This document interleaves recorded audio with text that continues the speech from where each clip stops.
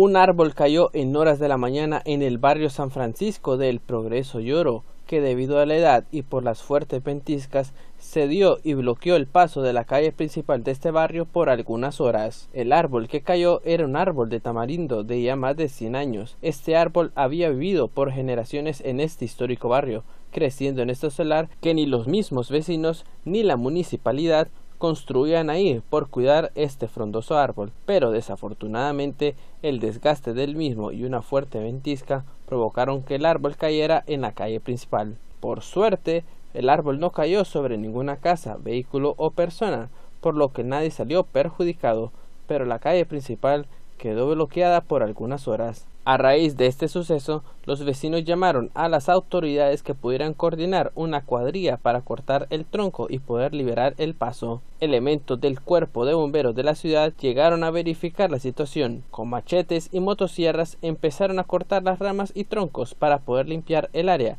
y liberar el paso. Los trabajos tomaron unas dos horas para poder limpiar el lugar y liberar el paso. Asimismo, se hizo la inspección del tendido eléctrico para comprobar que tampoco haya sido dañado. Los vecinos lamentan que este árbol haya caído, que era parte fundamental de este barrio. Algunos comentan que se buscará un área verde para poder plantar un árbol y que pueda crecer frondosamente como el que acaba de caer.